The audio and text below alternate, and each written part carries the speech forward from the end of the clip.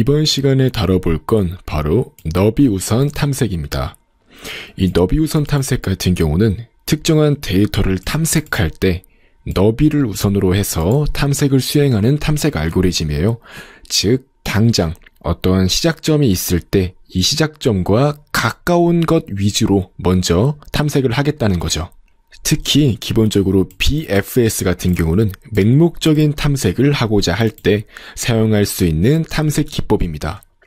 너비우선 탐색 같은 경우는 또 기본적으로 최단 경로를 찾아준다는 점에서 최단 길이를 보장해야 할 때 또 많이 사용이 되어 흔히 미로 찾기와 같은 알고리즘에서 많이 사용이 되고요. 이제 이러한 너비우선 탐색 알고리즘을 위해서 필요한 준비물은 바로 Q입니다. 이 Q 같은 경우는 먼저 들어온 걸 반드시 먼저 처리를 해준다는 점에서 너비우선 탐색을 가능하도록 해준다는 특징을 가지고 있어요. 바로 한번 어떠한 그래프와 큐를 준비해 보도록 할게요.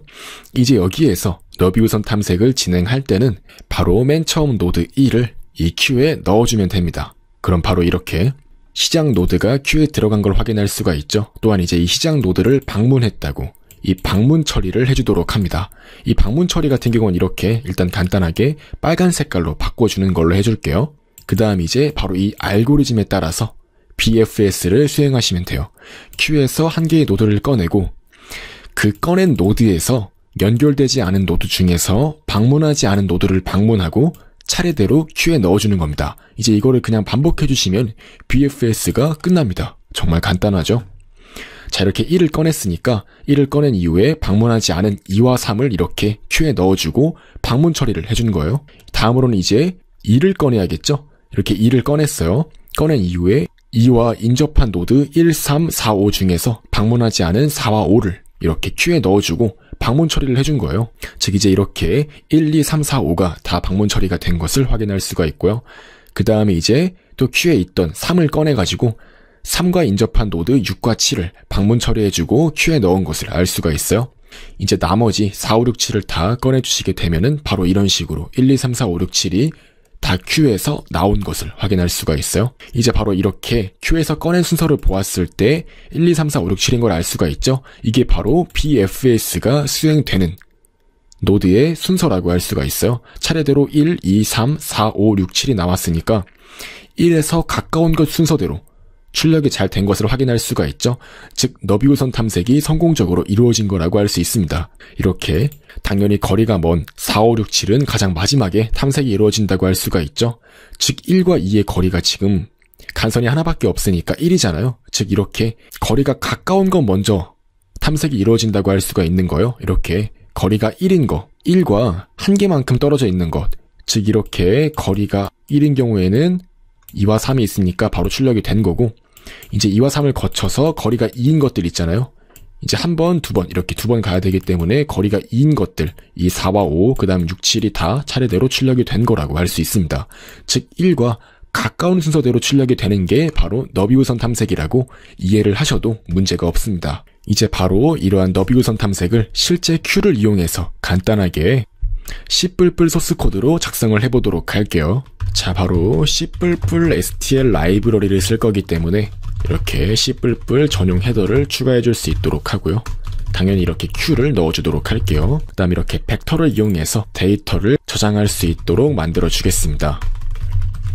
자, 이렇게 기본적으로 우리가 방금 다뤄본 예제에서 원소의 개수가 7개였죠. 그러니까 이렇게 7개를 넣어줄 수 있도록 하고 이제 방문 처리를 위한 C라는 이름의 하나의 배열을 만들어 주었어요. 이제 여기서 말하는 C는 checked의 약자로서 그냥 방문을 했다는 것을 의미하는 거예요. 그 다음 이제 이렇게 이 7에서 1만큼 더해준 8개의 벡터가 들어갈 수 있는 하나의 배열을 만들어 주었습니다. 각 노드의 인덱스가 1부터 처리될 수 있도록 만들어지기 위해서 이렇게 해준 거예요. 즉 1부터 7까지 인덱스를 처리할 수 있도록 하기 위해서 이렇게 8개만큼 공간을 차지해 준 거고 별 의미는 없습니다. 자 바로 한번 bfs라고 함수를 정의해 보도록 할게요. 자 이렇게 하나의 큐를 만들어 주고 아까 말씀드렸듯이 맨 처음에 큐에 이 시작점을 넣어줍니다. 그 다음에 이제 방문 처리를 해준다고 했었죠. 이제 반복적으로 특정한 알고리즘을 반복 수행해 주시면 됩니다. 자, Q가 빌 때까지 반복을 하는 거예요.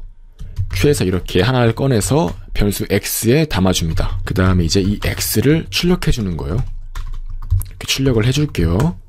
그 다음에 이제 i는 0부터 현재 q에서 꺼낸 그 원소와 인접한 노드들을 전부 다 하나씩 방문을 하면서 그 인접한 노드를 현재 방문을 한 상태라면 무시하고 방문을 한 상태가 아니라면 이렇게 큐에 담아주면 됩니다. 그 다음에 방문 처리를 해주는 거죠. 아까 말씀드렸던 알고리즘과 정확히 일치하게 소스 코드를 작성해 준 것을 알 수가 있어요. 이제 한번 실제로 BFS를 수행한 결과를 확인하기 위해서 데이터를 넣어주도록 할게요. 자, 지금 보시면 이렇게 1은 2와 3과 연결이 되어 있죠. 그러니까 이렇게 푸시백 함수를 이용해서 2를 넣어주시면 되고요. 또한 3 또한 이렇게 넣어주시면 됩니다. 또한 기본적으로 1에서 2로 연결이 되었다는 것은 2 또한 1과 연결이 되었다는 거니까 이런 식으로 2 또한 그 인접 노드로 1을 가질 수 있도록 만들어주는 거예요. 3 또한 마찬가지로 1을 인접 노드로 가질 수 있도록 만들어주면 됩니다. 즉 하나의 간선마다 이렇게 두 개씩 명령어가 들어가는 거예요. 이제 이 또한 넣어줄게요. 이 같은 경우는 3과 연결이 되어 있죠. 마찬가지로 3도 2와 연결해 주시면 되고요. 그 다음에 2는 또 4와 연결이 되어 있죠. 4 또한 2와 연결해 주시면 될 거고요. 그 다음에 또 2는 이 5와 연결이 되어 있습니다. 이런 식으로 한번 이 그래프의 내용을 그대로 옮겨보도록 할게요. 네, 그럼 바로 이런 식으로 코드를 작성할 수가 있어요. 전부 다 연결된 상태를 코드로 표현을 한 거고요. 이제 한번 여기에서 실제로 우리가 만든 bfs라는 함수를 수행할 수 있도록 할게요. 시작점은 1이라고 이렇게 잡아 주었습니다. 그 다음 이제 이렇게 프로그램을 작동을 시켜 보시면은 자, 성공적으로 너비 우선 탐색이 시행된 결과가 출력이 되는 것을 확인할 수가 있습니다. 네, 이렇게 이번 시간엔 간단하게 너비우선 탐색의 개념에 대해서 알아보고 너비우선 탐색을 어떻게 수행하는지에 대해서 알아본 뒤에 실제로 그것을 소스코드로 구현해보는 시간을 가져보았습니다. 이제 이러한 너비우선 탐색 같은 경우는 사실 그 자체로는 큰 의미가 없어요. 이제 이 너비우선 탐색이 실제로 다른 알고리즘에 갖가지 적용이 되는데요. 즉 BFS가 다른 알고리즘에 적용이 되어서 효과적으로 사용이 된다는 것 자체에 큰 의미가 있습니다. 이 BFS 자체는 사실 그냥 탐색 방법 중 하나이기 때문에 그렇게 큰 의미가 없어요. 나중에 이제 이 BFS가 이곳저곳에 아주 다양하게 응용이 될 건데요. 나중에 이제 그렇게 응용을 하기 위해서 이 BFS를 공부를 한 거라고 이해를 하시면 됩니다.